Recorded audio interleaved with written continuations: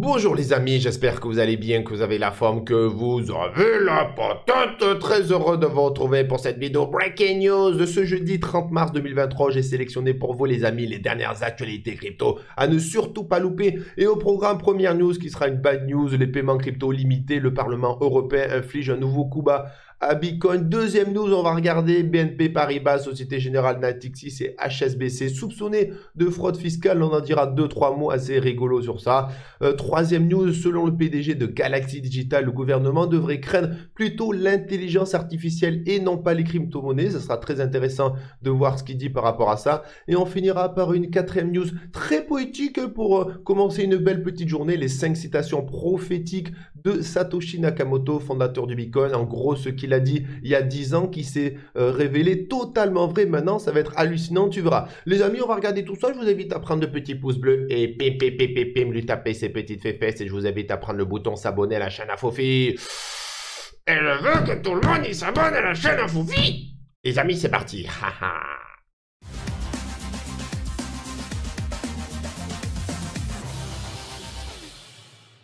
Les amis, première news et malheureusement une bad news, les paiements crypto limités en euh, Europe. Le Parlement européen inflige un nouveau coup bas à Bitcoin et c'est pas un petit coup bas, c'est un bon coup dans les robignoles, je vais te montrer ça. Donc décidément, l'Union européenne se veut à la pointe, mais des restrictions réglementaires, vraiment on est champion dans quelque chose. Concernant le secteur du Bitcoin et des crypto-monnaies, l'Union européenne veut euh, interdire de payer plus de 1000 euros en crypto sous le prétexte de lutter contre le blanchiment d'argent, 1000 euros. Mais non, moi j'aurais mis 1 euro. 1 euro, tu vois, c'est déjà beaucoup, 1 euro. Et donc, une volonté de, destruction délibérée de l'espace des cryptos, c'est la question qu'on se pose, vu toutes les réglementations qui tombent à peu près tous les jours. Et ces réglementations semblent vouloir s'employer à étouffer à mort les innovations révolutionnaires apportées par Bitcoin et les crypto-monnaies décentralisées, du moins dans les pays de l'Union européenne. Les députés européens de la Commission de l'économie et ceux de la Commission des libertés civiles ont donc voté favorablement l'interdiction des transactions supérieures à 1000 euros en crypto. Je vais t'en dire deux, trois détails. Cette interdiction ne concerne pas les avec un fournisseur de portefeuille réglementé, parce que ces portefeuilles sont soumis à des vérifications d'identité, KYC et tout.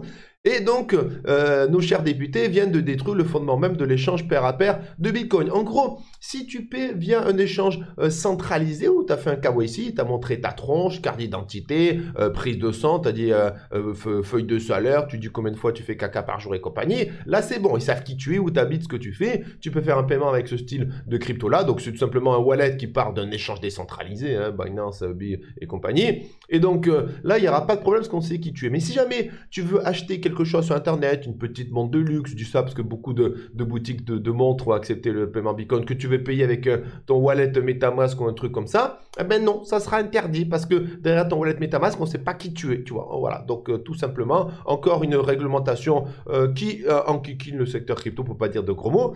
Les utilisateurs non vérifiés de crypto-monnaies n'auront pas le droit de dépasser les 1000 euros de paiement. En gros, euh, bah, tout simplement, il faudra dire à, celui euh, qui t'achète, bah, je vous fais plusieurs virements de 999 euros. Et donc, nos précieuses cryptos, s'il faut, ça marche en faisant ça. Nos précieuses cryptos sont perçues comme du cash, version numérique, et les échanges entre wallets privés ne peuvent pas, euh, ne peuvent pas être tracés. Ben oui, c'est le problème. Le contrôle, le contrôle des vies privées, les amis, c'est ça. Hein. Et on a 99%, 99 parlementaires européens qui ont voté pour cette limitation arbitraire de 1000 euros et seulement 8 ont voté contre. Donc, en fait, ils ont juste entendu, je pense, blanchiment, lutter contre blanchiment. Ils ont dit, OK, c'est bon. Mais derrière, ils n'ont aucune idée de ce que c'est. Ils comprennent rien au secteur des cryptos, comme d'habitude. Donc, c'est un nouveau viol de la vie privée, de la liberté d'échange, obligeant en plus à passer de nouveau par un intermédiaire qui devra vérifier et garantir l'identité des expéditeurs et destinataires d'une transaction crypto. Voilà. Et donc, pour finir, il est pourtant très peu probable que les banques comme Société Générale, BNP Paribas, HSBC, Natixis, qui sont accusés de fraude fiscale, on va voir ça de suite, et utiliser des crypto-monnaies ou des espèces pour réaliser leur blanchiment aggravé, pour lequel elles viennent d'être perquisitionnées euh, ce 28 mars. Mais tuer le jeune secteur Bitcoin qui sont manifestement plus importants euh, que euh, d'enfin nettoyer le vieillissement et bancal, système bancaire traditionnel. Et ça, c'est une belle conclusion par notre ami Journal du Coin. Et puis, on peut embrayer ben, vers cette deuxième news. Et eh ben oui, BNP Paribas, Société Générale, Natixis et HSBC soupçonnés de fraude fiscale. Et je te parle pas d'une petite fraude fiscale, je te parle de trucs astronomiques. Attention, tiens-toi bien. Et donc, à la, à la peine euh, depuis des semaines avec les faillites des trois banques américaines, donc la Silicon Valley, Silvergate Bank et Signature Bank, le secteur bancaire reste en eau trouble. Oh, le pauvre. Une enquête conjointement menée par la France et l'Allemagne pourrait déboucher sur une fraude fiscale d'à peu près 150 milliards de dollars. Et oui, c'est pas, c'est pas, c'est pas une petite fraude. Hein. Et donc, on a les autorités allemandes et françaises qui ont mené conjointement plusieurs perquisitions auprès de cinq banques. Oh, les petites banques. Mais attention, elles, elles sont assez régulées, faut plus les toucher. Hein. Celles-ci visaient précisément quatre banques françaises, BNP Paribas, Exane, Natixis, Société Générale et la banque HSBC. Et on a ces perquisitions qui font l'écho à la gigantesque affaire d'escroquerie euh, fiscale, une escroquerie qui aurait privé 9 pays d'une somme colossale estimée à 150 milliards d'euros. Et l'idée derrière cette fraude était de permettre aux, clients des banques concernées d'échapper à l'imposition sur les dividendes. Tu sais, cette flat tax de 30% qu'on te dit en crypto, on t'attend comme ça avec le fusil en mode ah, attention, hein, tu vas payer 30% sur tes petites plus-values. Hein. Ah oui, parce que sinon, pam pam, c'est un escroc, c'était pas gentil. Mais T'inquiète pas, parce que de l'autre côté, dans le secteur traditionnel, avec tout ce qui est action et compagnie, t'as la banque qui t'aide à ne pas payer ces 30%. Et oui, c'est ça qui est magnifique. Mais attention, il faut réguler les cryptos, il faut pas réguler les banques qui t'aident totalement à faire de l'évasion fiscale comme ça. Et donc, c'est en confiant leurs actifs aux banques, les propriétaires d'actions espéraient échapper à la taxation. Ah, merci les banques, hein, vraiment. Les banques auraient donc joué le rôle d'intermédiaire en créant notamment des structures juridiques pour brouiller les pistes. Mais c'est magnifique, c'est magnifique ça. Au passage, ces banques facturaient à leurs clients une petite commission. Donc c'est pas genre, allez, on te fait ça, mais nous, euh, on n'a rien vu, on n'a rien vu, on n'a rien fait, tu vois. Non, c'est, on te fait ça, mais en plus, on te prend une petite commission. On est vraiment les pieds dedans, les pieds dans la fraude, tu vois, voilà. Ah, les banques, le secteur bancaire, mais tout va bien, il est, faut pas, il, va, il faut pas le réguler parce qu'il est déjà nickel. Putain, laisse tomber. Bon.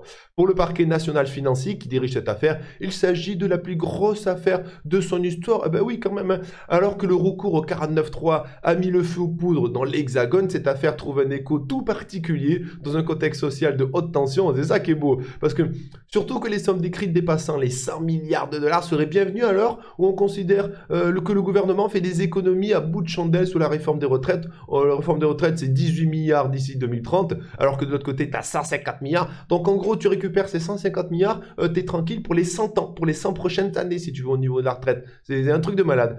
Et donc voilà, quoi qu'il en soit, ce nouveau cas ne va pas arranger la défiance à l'encontre des banques. Mais non, les banques, ça va. Par contre, le secteur des cryptos, ah là, ça va pas du tout. Hein. Certains observateurs estiment que cette défiance bancaire pourrait aussi se traduire par un afflux massif de capitaux vers les crypto-monnaies. Ça, ça serait bien, tu vois. Et notamment vers le roi Bitcoin. Rappelons au passage que Bitcoin a été créé sur les ruines de la crise bancaire de 2008 consécutive à la faillite des banques de Lehman Brothers. Et peut-être que 2023, ça va être bim, l'autre boom sur les cryptos, le Bitcoin, avec toute cette faillite des banques et tout euh, ces petites magouilles qu'il y a dans les banques.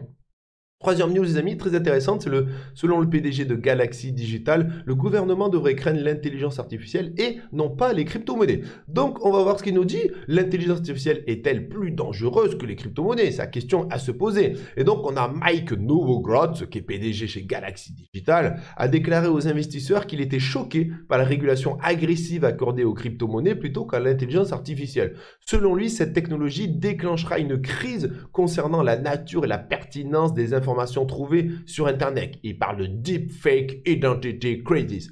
Et donc il nous dit, je cite, Quand je pense à l'avancée de l'intelligence artificielle, je suis offisqué que nous abordons tant de la régulation des cryptos et pas du tout de la régulation de l'intelligence artificielle. Je pense que le gouvernement a totalement pris les choses de travers.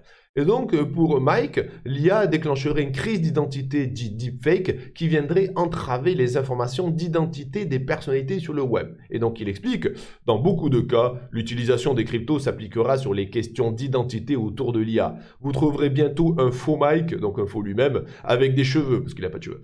Comment pouvez-vous prouver l'identité d'une personne dans un monde comme ça? Et nous dit Mike, donc, il pense également que la blockchain jouera un rôle important pour pallier certains problèmes euh, liés à l'IA. Il nous dit, la blockchain et les cryptoactifs vont jouer un rôle très important dans cette nouvelle industrie. Il est idiot de limiter l'ensemble du secteur à cause de Sam Barket Frites et de son Bermuda. J'aime bien la, la petite quenelle euh, qu'il a mise. J'ai un peu euh, fumé avec mon, mon, mon, mon Véleda violet.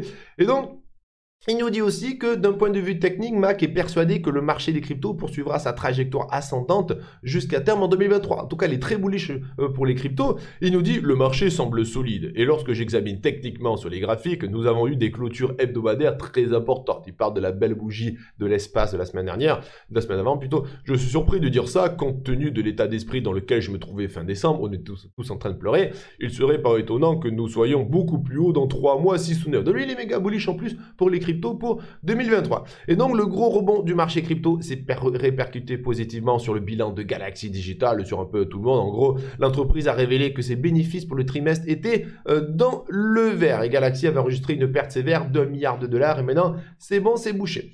Et donc voilà les amis, dernière news qui va être belle, une belle news poétique, c'est les 5 citations prophétiques de Satoshi Nakamoto, fondateur du Bitcoin. Et donc les amis, le 3 janvier 2009, un certain Satoshi Nakamoto lance officiellement le Bitcoin, qui qualifie de nouveau système de monnaie électronique open source en pair à pair. Dans les premiers instants de la vie du Bitcoin, Satoshi Nakamoto s'est montré particulièrement actif sur les forums et depuis le 26 avril 2011, il publie un dernier message avant de disparaître définitivement. Tom, tom, tom, tom. Néanmoins, une chose est certaine, Nakamoto avait une vision très prophétique de l'avenir et de sa création. On va voir euh, toutes les prophéties qui sont euh, révélées vraies, qui a dit. Donc, première, si vous ne, je cite, hein, si vous ne le croyez pas ou ne le comprenez pas, je n'ai pas le temps d'essayer de vous convaincre. Désolé, c'est une phrase très connue. En gros, Satoshi euh, était particulièrement occupé par le développement du Bitcoin n'avait pas le temps d'en faire la promotion. Donc si tu n'y crois pas ou tu le comprends pas, eh ben tant pis pour toi, euh, je vais pas essayer de te convaincre. Alors que bon, de nos jours, c'est plutôt les gens essayent de parler, de convaincre. Bon bref.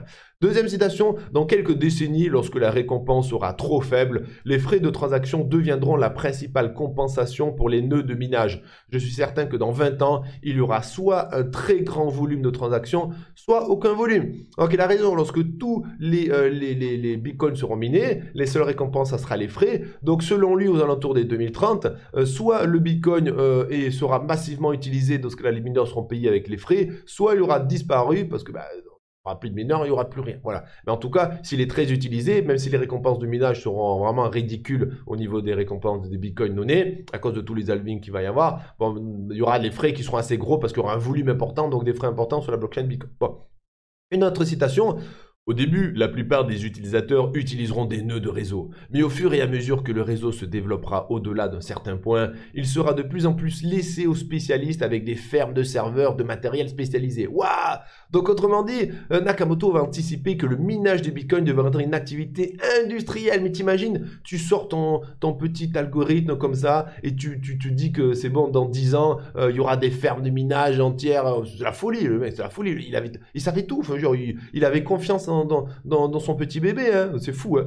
Et euh, autre citation, le problème fondamental des monnaies conventionnelles réside dans la confiance qu'elles requièrent pour fonctionner. Il faut faire confiance à la banque centrale pour qu'elle ne dévalorise pas la monnaie, mais l'histoire des monnaies fiduciaires est pleine de manquement à cette confiance. Et il a tout à fait raison, parce que qu'est-ce qu'on a eu à partir de 2020 Une crise Covid et les faillites bancaires, et derrière ça, les banques centrales américaines et européennes ont imprimé de l'argent à un rythme record pour sauver l'économie, et impression d'argent à un rythme record égale dévaluation, dévaluation à un rythme record. Donc il avait prévu notre petit Amish Satoshi. Et euh, dernière citation, être judicieux d'en acquérir, il parle du Bitcoin, au cas où le phénomène se répandrait, si suffisamment de personnes pensent la même manière, cela devient une prophétie qui se réalise d'elle-même. Donc comme on a pu le constater, certaines citations de Satoshi Nakamoto se sont montrées totalement prophétiques sur l'adoption du Bitcoin, le Bitcoin pour lutter euh, contre le système fiduciaire, tout ce qui est autour du minage et tout. C'est magnifique. Voilà les amis, euh, sur cette belle, belle petite news euh, poétique, écoutez, je vous invite à vous abonner à la chaîne, mettre un petit pouce bleu et un petit commentaire qui fait toujours plaisir. Je vous souhaite de passer une bonne journée, soyez prudents sur le marché crypto et on se voit ce soir pour la vidéo d'analyse comme tous les soirs. Les amis, gros bisous, bonne journée, à ce soir, bye bye.